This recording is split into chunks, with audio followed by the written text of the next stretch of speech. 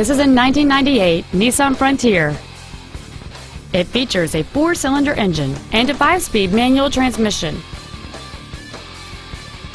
Its top features include an anti-lock braking system, dual airbags, and this vehicle has fewer than 66,000 miles on the odometer. Stop by today and test drive this automobile for yourself.